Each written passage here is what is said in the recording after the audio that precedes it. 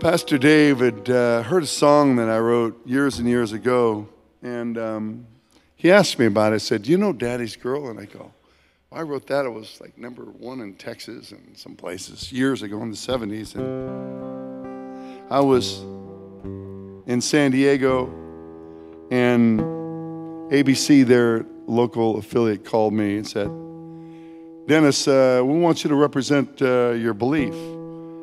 And I said, Well, all right, can you come to our show? It'll be on uh, Friday. And so, yeah, I'll come. So I had no idea what I was in for. And so I came and I sat down. There was this real pretty girl. She had this hair that came way out to here and all the way down. And uh, uh, she kind of looked at me and, like, what are you doing here? And come to find out, I was supposed to debate this lady she was the president of the prostitute union of the city of San Diego and the city of Los Angeles. And I got, you know, how did I get talked into this thing? You know, and so of course the narrator starts out, and Dennis has got a belief of da da da and morality, and she's going, "What's morality?" And and uh, I got a little angry. I, uh, you know, what is morality? Mocking God and everything. I said, well, the difference between animals and human beings are morality. And if you don't believe in morality, next time you're sick, I, I suggest you go see a veterinarian. And I was kind of, you know, I was a little young and kind of feisty and, you know, and then she came off and I was just nice. And I thought, Dennis, calm down. Just quote some scriptures. And I started quoting scriptures that there's a God that, that, uh, who died for you on a cross. And believe it or not, you're made in his image. Women and men in Genesis 1 27 are made in the image of God. In Galatians 3, at the end of the chapter, women and men become sons of God. In John 1, verse 12, men and women become sons of God that believe in the name. And uh, well, later on, you know, uh, I was talking and then she was talking. The crowd was there. It was kind of like the Oprah crowd, you know, kind of cheering up for her and laughing at me.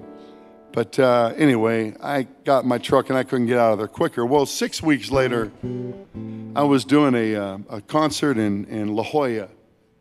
And here came this lady, and I couldn't recognize her, but she had, I know, a turtleneck up to here.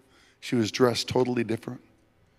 And her hair was back, and she come up to me and she said, Dennis, I, I accepted Christ through you. And I said, Really? Where? On the TV show the other day. And I looked at her again her blue eyes. I go, I remember you. And she said, Thank you. A letter to Christ. I quit my job, got a lot of people mad, you know. And I never saw her after that. But I went home and wrote this song.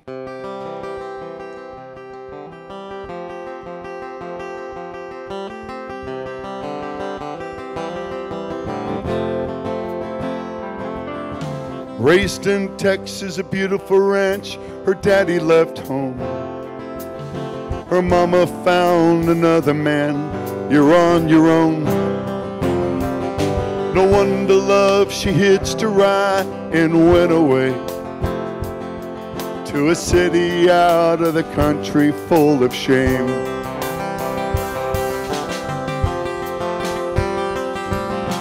Money ran out, she'd met a man and lost her pride. Abused and confused, she started to cry. All the pain I've never known while I was daddy's girl. Away from a family in a sinful world.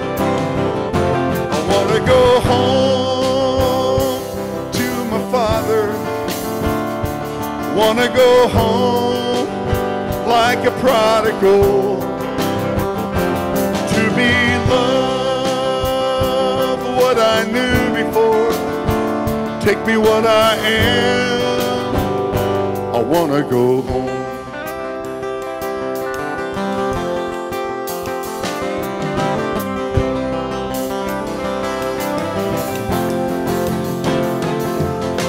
She walked by a rescue mission and she heard a voice say, To give was all I had.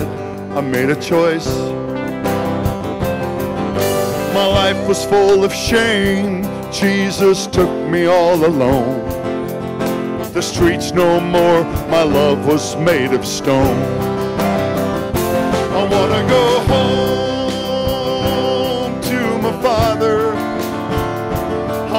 Go home, be daddy's girl. To be loved what I knew before. Take me what I am. I wanna go home. I wanna go home to my father. I wanna go home like a prodigal.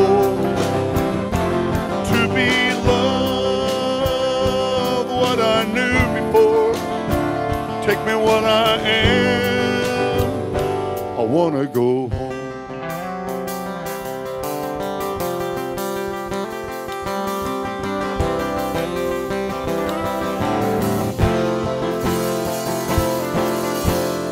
Praise the Lord.